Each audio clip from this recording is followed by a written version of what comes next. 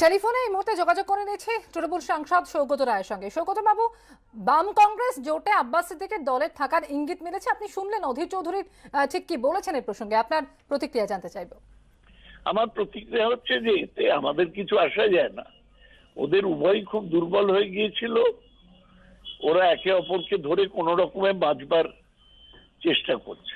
তাও ওরা দুর্বল তৃতীয় শক্তি হিসেবেই থাকবে। তৃণমূল জিতবে।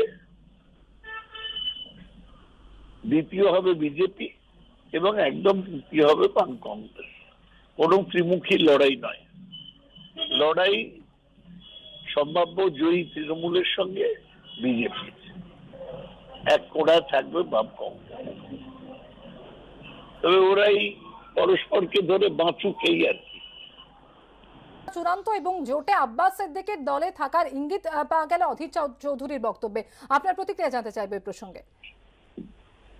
না, দেখুন, এটা আমরা প্রথম দিন থেকেই বলে আসছি। এবং সেইটাই সব থেকে প্রমাণিত হলো আজকে যে শেষ পর্যন্ত আব্বাস সিদ্দিকীর দল ইন্ডিয়ান সেকুলার ফ্রন্ট যার পেছনে আছে মিম এমআইএম সেই ওয়েসির দল, আমরা সবাই জানি ওয়েসির দলের মদতে আব্বাস সিদ্দিকি লড়ছে এখানে।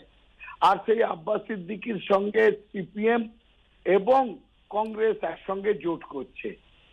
এটা একটা ইসলামিক অর্গানাইজেশন এবং এই যে সিপিএম এর আগেই কেরালাতে মুসলিম লীগের সঙ্গে গাঁটছড়া বেঁধেছে।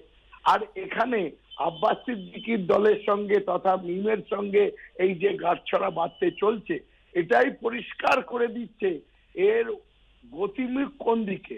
এরা এক হাতে ধরে থাকবে তৃণমূলকে, আর এক হাতে ধরে থাকবে আব্বাস সিদ্দিকে এবং সকলেরই লক্ষ্য হচ্ছে বিজেপির বিরোধিতা।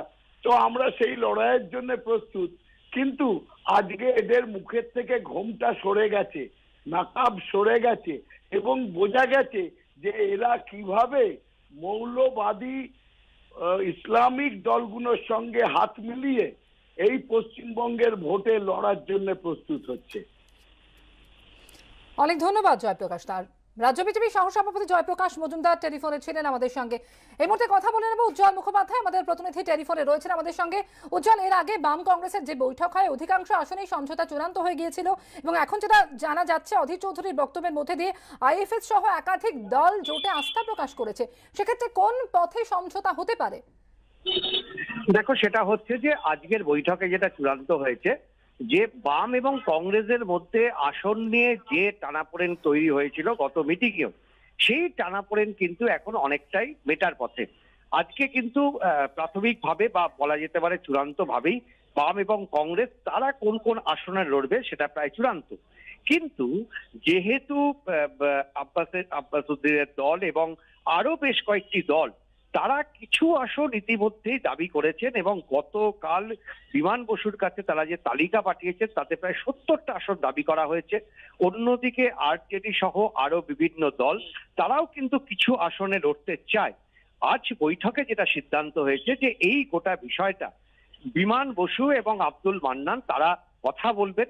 কথা বলে কাদেরকে কটা আসন ছাড়া সম্ভব, সেই বিষয়গুলো কিন্তু তারা চূড়ান্ত করবেন এবং যে ফর্মুলা তৈরি হচ্ছে যে যদি দেখা যায় যে শেষ পর্যন্ত এই বাম এবং কংগ্রেসকে বাকি দলগুলোর জন্য চল্লিশটা আসন ছাড়তে হলো বা পঞ্চাশটা আসন ছাড়তে হলো সেক্ষেত্রে ফর্মুলা হচ্ছে দুটো। করে আসন।